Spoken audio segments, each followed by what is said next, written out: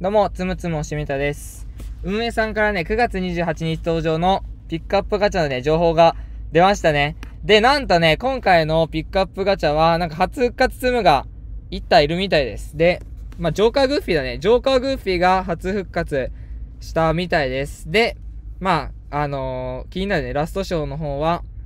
はい、えー、ボイス付きの MU マイクです。なんか最近ボイス付きめっちゃ多いよね。最近ボイス付きめっちゃ多いけどさ、曲付き来なかったのかなまあね、MU マイクでボイス付きなんだけど、まあ、好きチキではないから、正直、あ10月の新通もあるからね。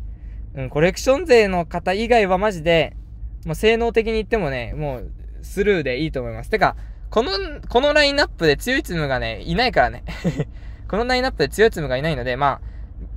うん、ジェ CC っていうならジェットパックエイリアンがサブツムで結構使えるくらいかな。それくらいなんで、まあ、ジョーカーグーフィー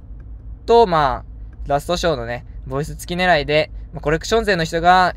弾く感じのセレボ、セレボじゃないわ、ピックアップなんじゃないかなと思います。ということで、以上、まさかの、えピックアップガチャ情報来てたので、ちょっとね、遅れてしまいました。すみません。えーピックアップガチャ情報が来たよっていう動画でした。この動画が良かったなと思ったらね、声がチャンネル登録よろしくお願いします。それでは皆さん、バイバーイ。